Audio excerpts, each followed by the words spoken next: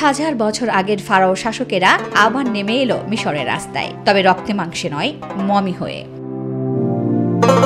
বাইশটি মমি নিয়ে এই শোভাযাত্রা হলো কায়রোর রাস্তায়। দৃষ্টিনন্দন এই শোভাযাত্রায় দেখা মিলল আঠারো জন ফারাও রাজা আর চারজন ফারাও রানীর। এতে খরচ হলো কয়েক মিলিয়ন ডলার। এতদিনের বাসস্থান পরিবর্তন করে রাজকীয় মমিগুলোকে নতুন জাদুঘর, ন্যাশনাল মিউজিয়াম অফ ইজিপশিয়ান সিভিলাইজেশনে স্থানান্তর উপলক্ষেই এই শোভাযাত্রার আয়োজন। শোভাযাত্রা শাসনকালের ক্রম অনুযায়ী ফারাওদের মমি নিয়ে যাওয়া হয়। সতেরোতম রাজবংশের শাসক সেকেনেটারে টা দ্বিতীয় থেকে রামসেস নবম পর্যন্ত ক্রমান্বয়ে এই স্থানান্তর প্রক্রিয়া সাজানো হয়। প্রতিটি মমিকে নেওয়া হয় সাজানো গোছানো জানে যাত্রাপথে মমিগুলো যাতে ঝাঁকুরি না খায়, সেজন্য বিশেষ ব্যবস্থা নেওয়া হয়। মমি বহনকারী গাড়িগুলো ঘিরে থাকে আরও মোটর গাড়ি। এছাড়াও ছিল ঘোড়ায় টানা রথের রেপ্লিকা।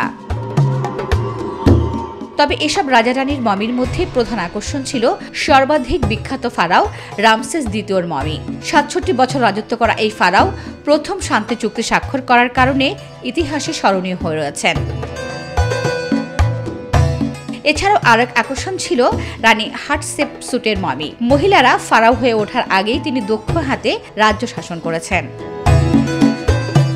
কায়রোতে চলতি মাসে খুলে দেওয়া নতুন এই জাদুঘরে এসব ফারাওদের মমি স্থানান্তর করার মাধ্যমে দেশটির পর্যটন শিল্পকে পুনরুজ্জীবিত করা সম্ভব হবে বলে ধারণা করা হচ্ছে। Marcia Mannan, my TV.